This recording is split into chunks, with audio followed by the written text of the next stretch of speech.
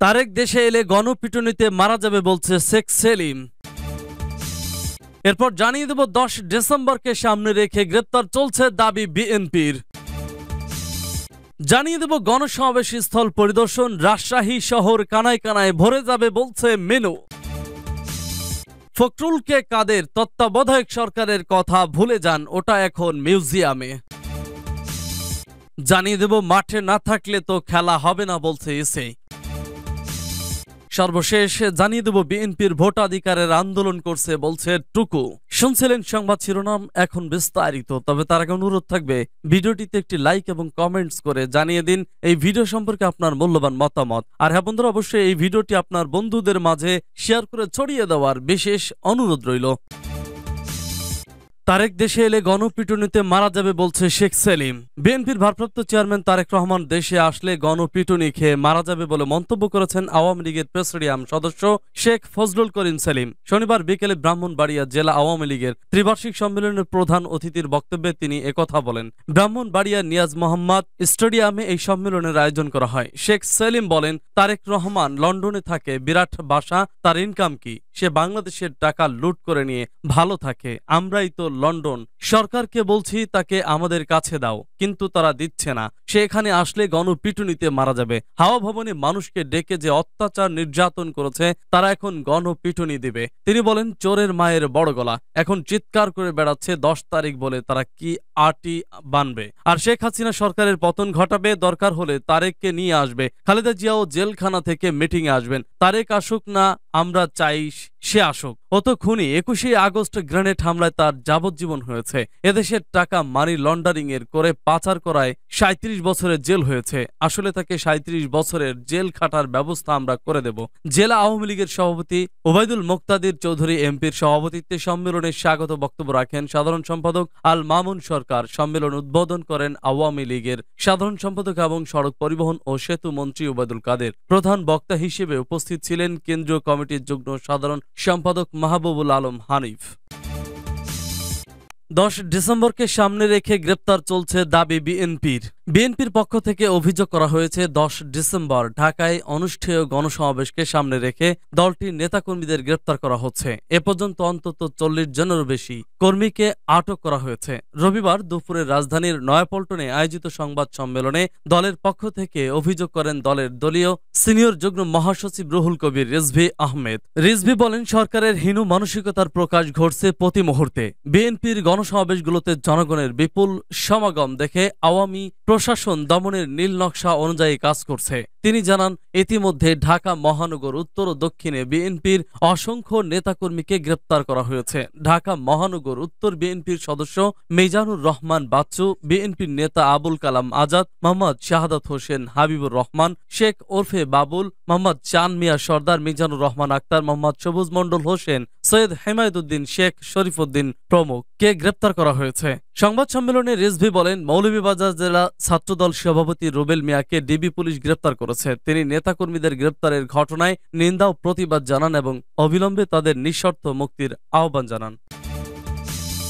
গণসমাবেশ স্থল পরিদর্শন রাজশাহী শহর কানায় কানায় ভরে যাবে বলছে মেনু। আগামী তিন ডিসেম্বর রাজশাহী বিভাগীয় গণসমাবেশ ঐতিহাসিক মাদ্রাসা মাঠে অনুষ্ঠিত হবে। সমাবেশের দিন যতই ঘনিয়ে আসছে দলটির নেতাকর্মীদের মধ্যে, ততই উৎসাহ উদ্দীপনা বাড়ছে। আজ গণসমাবেশ স্থল পরিদর্শন করেছেন বিএনপি নেতারা। পরিদর্শন শেষে বিএনপি চেয়ারপারসন খালেদা জিয়ার উপদেষ্টা সাবেক মেয়র ও সংসদ সদস্য মেজানুর রহমান মেনু বলেন, গণসমাবেশ সফল করতে রাজশাহী, মহানগর জেলা ও বিভাগের বিভিন্ন জেলা, উপজেলা, থানা, ইউনিয়ন, পৌরসভা ও ওয়ার্ডসমূহে রীতিমতো প্রস্তুতিমূলক সভা চলমান রয়েছে। এ সমাবেশ জনসমুদ্রে পরিণত হবে।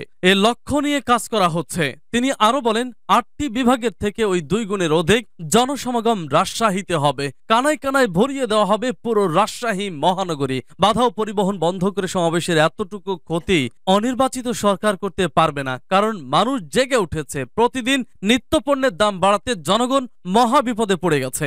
এখন মানুষের নিশিরাতে সরকারের কবল থেকে মুক্তি চায় এ লক্ষ্যে দলীয় নেতাকর্মীদের সঙ্গে দেশের সাধারণ মানুষ ফুসে উঠেছে। তারা সব বাধা অতিক্রম করে যেমন অনন্য বিভাগের গণসমাবেশে হাজির হয়েছিলেন তেমনি রাজশাহীর গণসমাবেশেও হাজির হয়ে এ ফ্যাসিস্ট সরকারের বিদায়ের ঘণ্টা বেজে উঠবে বলে এ সময় উল্লেখ করেন মিনু। রোববার দুপুরে মাদ্রাসা মাঠ ও গণসমাবেশী স্থল পরিদর্শনকালে উপস্থিত ছিলেন বিএনপির জাতীয় নির্বাহী কমিটির সদস্য, গণসমাবেশের মঞ্চ কমিটির আহ্বায়ক ও জেলা বিএনপির আহ্বায়ক আবু সাইদ চাঁদ, বিএনপির জাতীয় নির্বাহী কমিটির সদস্য ও জেলা বিএনপির সিনিয়র যুগ্ম আহ্বায়ক সাইফুল ইসলাম মার্শাল, সদস্য সচিব অধ্যাপক বিশ্বনাথ সরকার। জেলা বিএনপি সদস্য জাহান পান্না রকুনুজ্জামান আলম, অধ্যক্ষ সিরাজুল ইসলাম আলী হোসেন, রাইহানুল ইসলাম রাইহান, গোলাম মোস্তফা মামুন তাজমৌল তান টুটুল তোফাইল হোসেন রাজু আর উপস্থিত ছিলেন কৃষক দলের কেন্দ্রীয় কমিটির রাজশাহী বিভাগীয় সহ সাংগঠনিক সম্পাদক রাজশাহী জেলা কৃষক দলের সাবেক আহ্বায়ক আল আমিন সরকার টিটু। রাজশাহী জেলা কৃষক দলের আহ্বায়ক শফিকুল আলম সমাপ্ত। চারঘাট বিএনপির সাবেক সাংগঠনিক সম্পাদক জালালউদ্দিন জেলা যুবদলের সিনিয়র যুগ্ম আহ্বায়ক ফয়সাল সরকার। ফখরুলকে কাদের তত্ত্বাবধায়ক সরকারের কথা ভুলে যান ওটা এখন মিউজিয়ামে। আওয়ামী লীগের সাধারণ সম্পাদক ও সেতুমন্ত্রী ওবায়দুল কাদের বিএনপির মহাসচিব মির্জা ফখরুল ইসলাম আলমগীরের উদ্দেশ্যে বলেছেন, তত্ত্বাবধায়ক সরকারের কথা ভুলে যান। আদালতের নির্দেশে এটা এখন মিউজিয়ামে। আজ রোববার ঝিনাইদাহ জেলা আওয়ামী লীগের ত্রিবার্ষিক সম্মেলনে প্রধান অতিথির বক্তব্যে তিনি একথা বলেন। ওবায়দুল বিএনপির নেতাকর্মীদের সতর্ক করে বলেন, বিজয়ের মাসে বিশৃঙ্খলা সৃষ্টি করতে চাইবেন, সন্ত্রাসী কাজ করবেন, বাঁশের লাঠিতে জাতীয় পতাকা নিয়ে ঝামেলা করবেন, এটা আমরা হতে দেব না। আওয়ামী লীগ বিশৃঙ্খলা সৃষ্টি করতে দেবে না। আওয়ামী লীগের এই নেতা অভিযোগ করেন, মির্জা ফখরুল টাকার বস্তার ওপর বসে আছেন। কারে এমপি বানাবেন, কারে মন্ত্রী করবেন, তার জন্য টাকা জাতীয় সরকার কারে করবেন, সেখানেও টাকা শুরু হয়ে গেছে মনোনয়ন বাণিজ্য। ওবায়দুল কাদের সম্মেলন উপলক্ষে বিলবোর্ডের পেছনে খরচ কমাতে বলেছেন নেতাদের। তিনি বলেন, এত বিলবোর্ড আর কখনো দেখিনি। নেত্রী বলেছেন, খরচ কম করতে। এখানে এসে দেখলাম, বিলবোর্ড আর বিলবোর্ড, খরচ কমান। মানুষের কল্যাণে কাজ করেন মানুষের পাশে দাঁড়ান।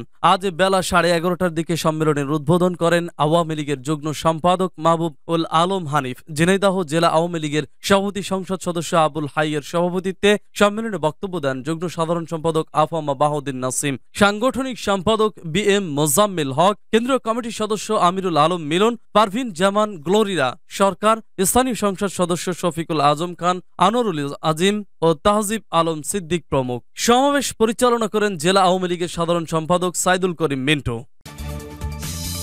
মাঠে না থাকলে তো খেলা হবে না বলছে ইসি সব রাজনৈতিক দলকে নির্বাচনে আনা বর্তমান নির্বাচন কমিশনের বড় চ্যালেঞ্জ বলে উল্লেখ করেছেন কমিশনার আনিসুর রহমান। তিনি বলেন, সব দলকে ভোটে আনাই আমাদের বড় চ্যালেঞ্জ। সফল হব কিনা জানি না। শেষ দিন পর্যন্ত আমাদের এই চেষ্টা থাকবে। তিনি আরও বলেন, মাঠে থাকতে হবে। মাঠে না থাকলে তো খেলা হবে না। মাঠে না এসে তো কেউ বলতে পারবে না, পরিবেশ নেই। রবিবার আগারগাঁওয়ের নির্বাচন ভবনের নিজ দপ্তরে সাংবাদিকদের সঙ্গে আলাপকালে তিনি এসব কথা বলেন। আপনারাও তো এক দলের রেফারি হতে চান না। এমন প্রশ্নের জবাবে নির্বাচন কমিশনার আনিসুর বলেন, অবশ্যই না, সেরকম কাজ করব না। এটা পরিষ্কার, আগেও বলেছি এখনও বলছি। আমরা আমাদের পরিবেশ, পরিস্থিতি, সৃষ্টির যে কাজ, সেটা করব। আমাদের আশা থাকবে, সব দলের রেফারি হিসেবে থাকব। সব পক্ষ নিয়েই ভোটের মাঠে থাকব। লেভেল প্লেয়িং ফিল্ড তৈরি করার বিষয়টিকে চ্যালেঞ্জ করে উল্লেখ করে আনিসুর রহমান বলেন, আমরা ওই দিকেই নজর দেব। কীভাবে ওটা করা যায়, সে বিষয়ে গুরুত্ব দেব বেশি। এটা যদি সবাই না পায়, তাহলে তো ভোটের পরিবেশ থাকবে না। শেষ দিন পর্যন্ত আমাদের এই প্রচেষ্টা থাকবে।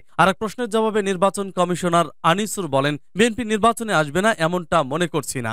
সব দল নির্বাচনে আসার মতো পরিস্থিতি না হলে কি করবেন? এমন প্রশ্নের জবাবে নির্বাচন কমিশনার আনিসুর বলেন, কি করব সেটা যখন সময় আসবে তখন দেখা যাবে। এই কমিশনার বলেন, একসময় তো ভোটের দায়িত্ব কেউ নিতে চাইতো না, এখন কিন্তু এমন পরিস্থিতি নেই। আমাদের সময় এমন হয়েছে, একটা সময় ছিল, আশির দশকে ভোটের দায়িত্বে কেউ আসতে চাইতেন না। এখন নিয়মের মধ্যে এসেছে, দু একজন তো এদিক সেদিক হবেই। তবে আশা করি সবাই নিষ্ঠার সঙ্গে দায়িত্ব পালন করবেন।